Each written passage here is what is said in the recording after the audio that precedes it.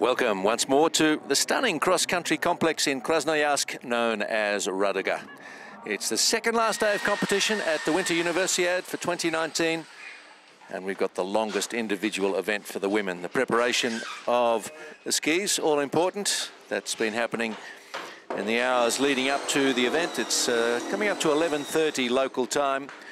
And we've got uh, terrific conditions at Raduga for the 15 kilometre mass start. And on these longer events, uh, it's even more important okay. than uh, any other occasion, really, to get the wax combination just right. So we've got a field of 55 competitors gathering now around the start. Some of the athletes have competed in four or five events already. And today's race, it's really a, a solid test for the mind and body to push through the pain barrier got almost spring-like conditions in which to compete though, so they won't be complaining about the weather. It's uh, been a very mild uh, 10 or 12 days for us here in Krasnoyarsk. Spring has arrived a bit early.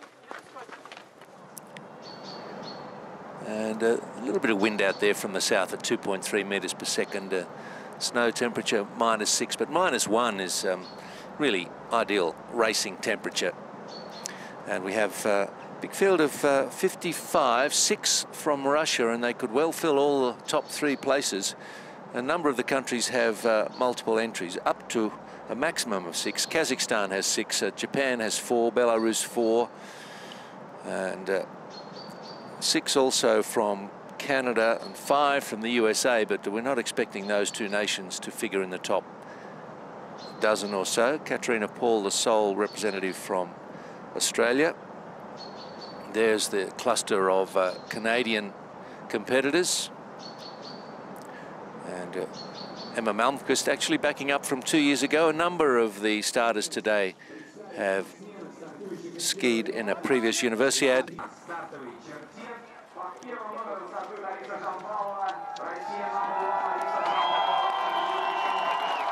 Uh, getting ready for a start. So five across there, and we've got uh, Valeria Chilenova of the Kazakh Academy of Sport and Tourism thrown in amongst the uh, strong Russian contingent. Chilenova in four on your left.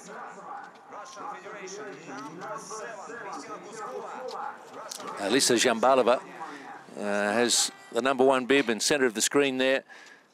And uh, she had a, uh, a win in Korea a couple of years ago in this event. All quiet for the start as we get away in the 15k mass start. 20 nations represented. And Zhambalova must be a, a mild favourite here. Such a strong Russian team present in the field that uh, they can work together to assist each other around the journey. It should take uh, between 40 and 45 minutes.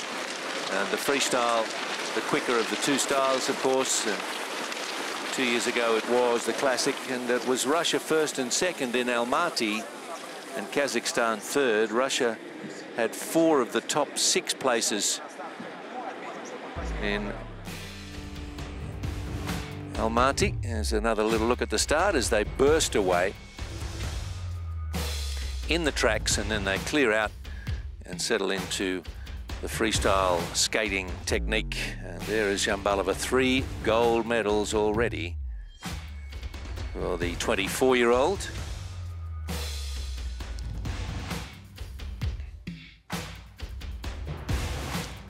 Quite a picture, isn't it, under sunny skies at uh, Raduga. Make their way around. So they'll do two circuits of uh, the 3.75 kilometre red course and two of the blue. That'll make seven and a half Ks around each course and that'll give us the 15 kilometres in total. 49 there was uh, Alexandra Slobodian of uh, Carleton University in Canada. And already the field just starting to settle into more of a, a single file. Mass start can be a bit chaotic for the first few hundred metres. Doesn't look like we've had any incidents or falls, which is good.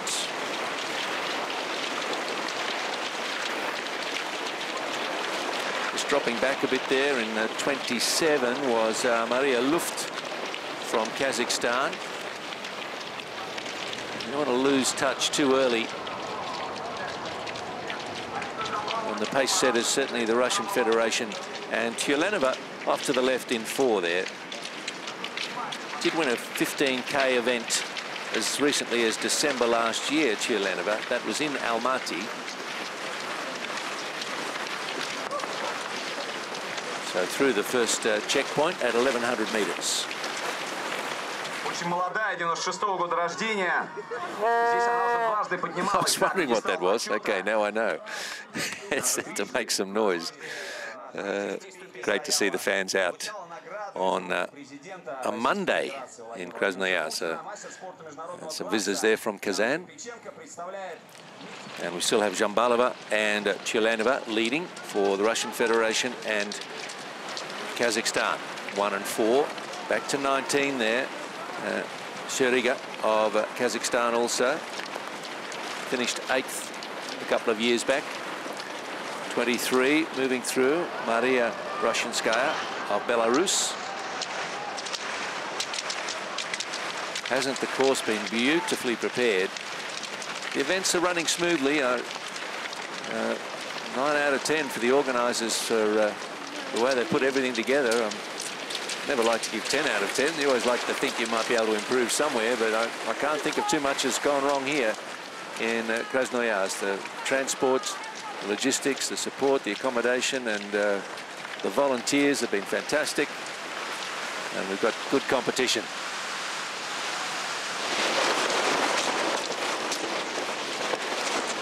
One of the quicker right-handers on the course, and there's a big one coming back into the stadium as well as Zhambalova still leading there from Kapachenko and off to the left skiing her own race still Tchulenova in number four.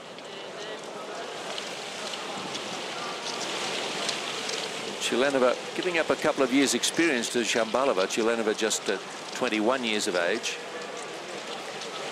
And Hintsitsova it's interesting to see her up there in 17. We're going to look out for her in the light blue uniform. Hintsitsova the sprint gold medalist.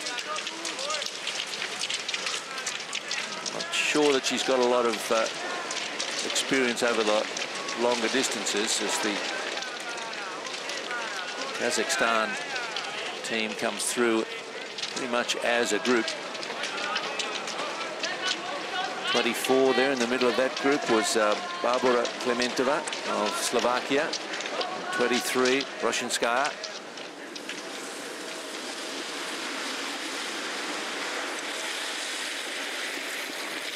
Here they come into the stadium for the first time.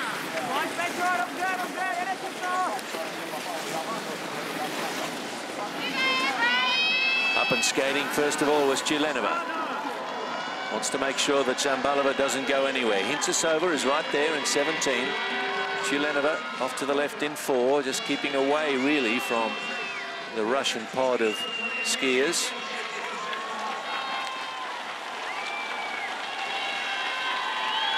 Nice tidy single file, no breakaway group established just yet. Well, skiing three across up this incline. That's okay as long as there's not a turn. You can uh, be skiing more territory than you need to, of course, if you go three wide round a tight bend. Hintsitsova pushing out hard for the Czech Republic. Off to the right there, Zhambalova. In 16 is uh, Ursula Latocha. And 13, Anna Sixtova of the Czech Republic also. Same uniform, of course, as Hintsitsova, our leader at the moment.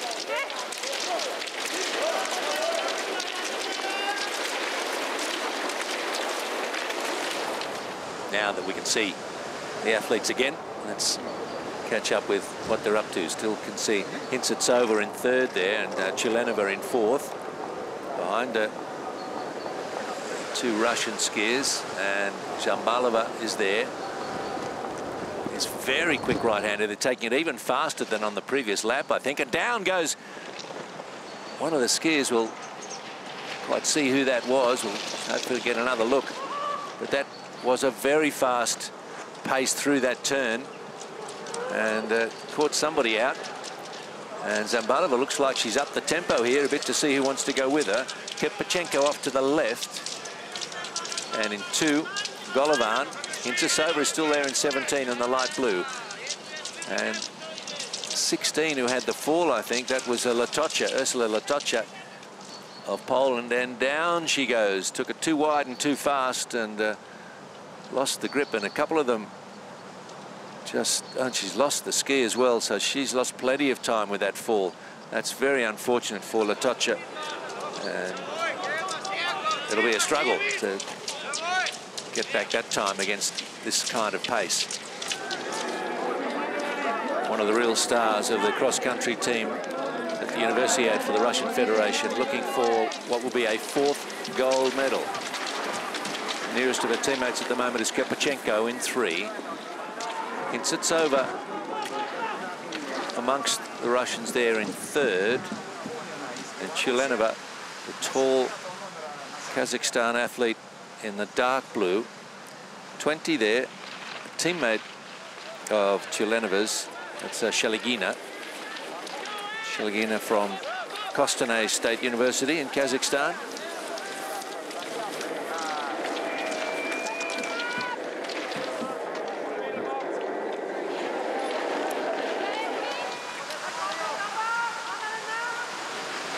So maybe now is the moment the Russian Federation decides to test the resilience and stamina of those behind them as they, they set off together one, three and five, Zhambalova, Kepachenko and Smirnova and see if Chilenova of Kazakhstan and Hintsetsova of the Czech Republic can stick with the pace.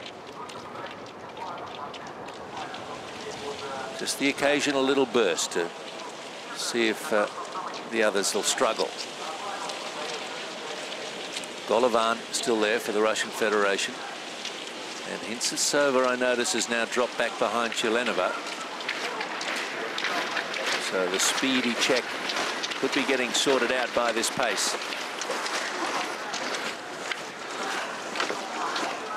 So Hintsetsova just uh, about three and a half seconds now behind Smirnova and Zhambalova. Kodama for uh, Japan, Yokohama, Kobayashi, and Takazawa. Gusias for Norway uh, having a good start to the race, 26 seconds behind the leaders at the moment.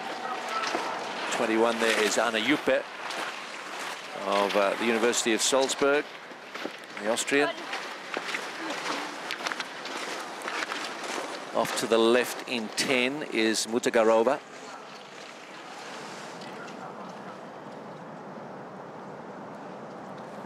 25 there. What's going on? Is that a withdrawal from Patapovic? Must be. Looks like she's had enough. Patapovic uh, from Belarus. Looks like uh, she can't go on. But back to the sharp end. And skier in 12 there is uh, Mika Kodama of Japan has just made a nice little move up to join the leaders. Hintsetsova has dropped uh, some 25 metres back in the light blue there, so it's Russia and Japan in the leading half dozen at the moment. Hintsetsova wants a drink and gets one. And 14, there's Kobayashi of Japan. Shouldn't be too surprised that Hintsetsova has just uh, lost touch there. She's a, a, specialist sprinter. Obviously wanted to have a go at the 15Ks, but you can't be all things to all disciplines. As now uh, Smirnova comes up alongside Zhambalova. Chilenova still thereabouts, and the Yokohama of Japan. The women's sprint is the only gold medal that the Russian Federation hasn't won the events held so far. It's 11 events in total at the cross country. And Zhambalova's won three of them. Well, two of them on her own and one in the team relay. Five closest to the camera, Smirnova there. And it does look like Chilenova's got a bit of a struggle now to keep up. Yokohama and Hintsitsova. Then in nine, we've got Lukanina of Belarus.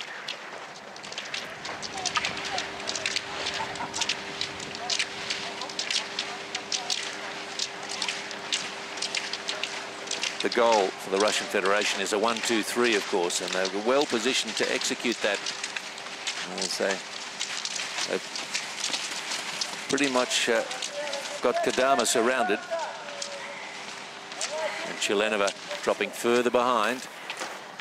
Takizawa of Japan in eight coming through and 30 there having a very good race is Agusias of Norway.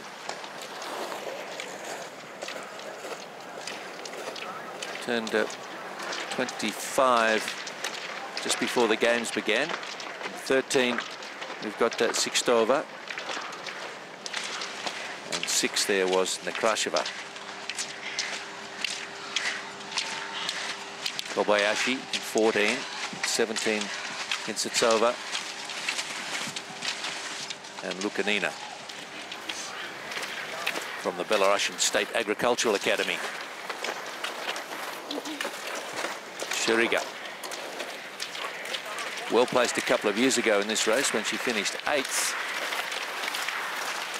Need will make up some places if she's to match or beat that from her effort in Almaty when it was a smaller field, uh, only 40 starters two years ago.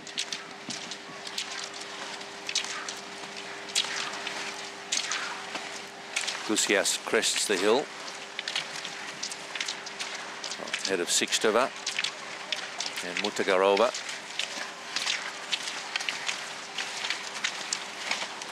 And at the tail of that group is uh, Shelegina.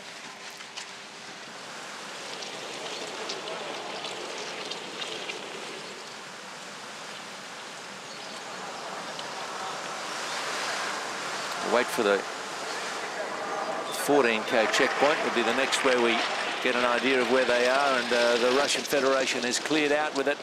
They all safely negotiate that tight right-hand turn and so it's Zhambalova and Smirnova.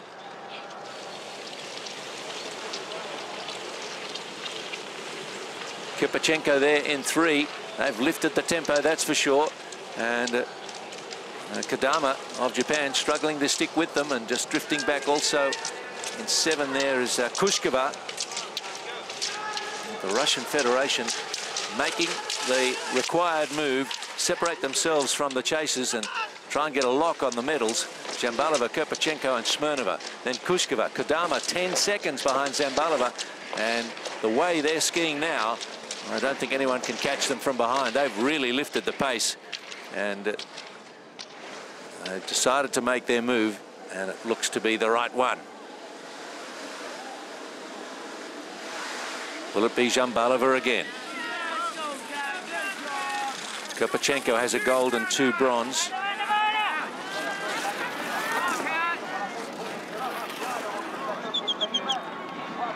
As into the stadium they come.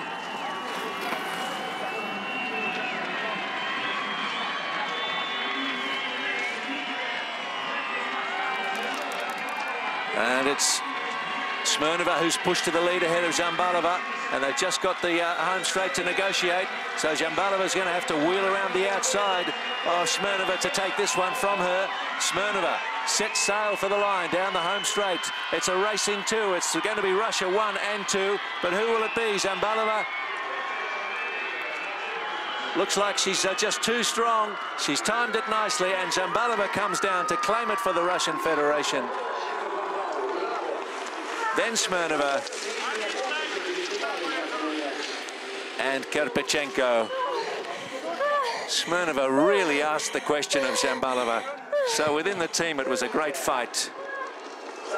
And, uh, and Kushkova, and the first non-Russian finish from Kodama of Japan. And Golovan. So they got five in the top six, Russian Federation. But uh, well done to Miki Kodama to at least get the Russian Federation thinking about it in the second half of the race. Dzhambalova, win number four. 38, 39.8, that is quick.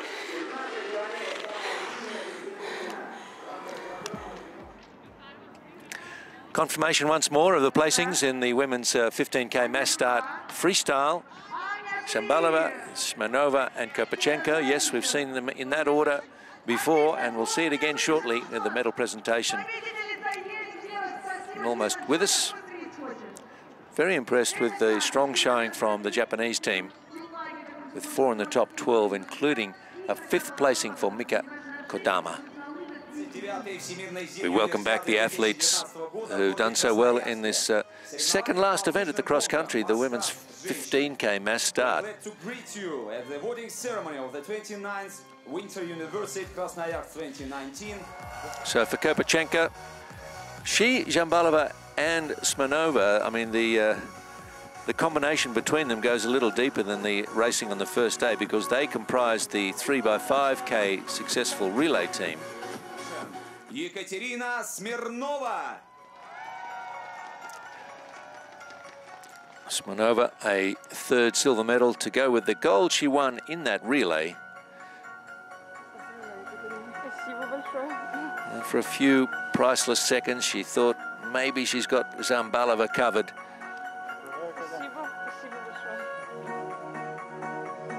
It wasn't to be. Shambalova. Shambalova, a joyous winner, a very successful program skied by her. women's 5K classic, women's 5K pursuit, 3x5K relay. And now the 15K.